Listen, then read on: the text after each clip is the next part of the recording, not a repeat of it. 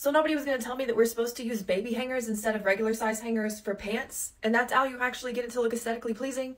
Y'all make me sick. Y'all could have told me that. We're about to do a transformation of my closet. So my closet has a walk-in, but barely. Like I can fit one butt cheek in here. The door doesn't go further than this because it's crammed. Now you see how the pants are hung up. It's not bad like this, but apparently it could be more condensed. I mean, you see the size difference of the hanger. The velour hangers can be pricey, so I put these in my TikTok shop storefront. These were a really good price for how many you get.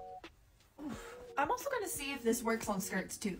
A week might have passed, maybe, but do you see how different it looks? You have to see what I did. Added a whole mirror because of the space this saved doing this. Look at the baby hanger. When I tell you this was an amazing idea, you fold them over at the crotch area and you just hang them up. For skirts, I found that it was easier to use the full size because skirts, you can put it across the entire thing. Whereas for pants, it's a perfect fit. Even with sweatpants that are really bulky, it still worked. So this closet hack gets a 10 out of 10 for me.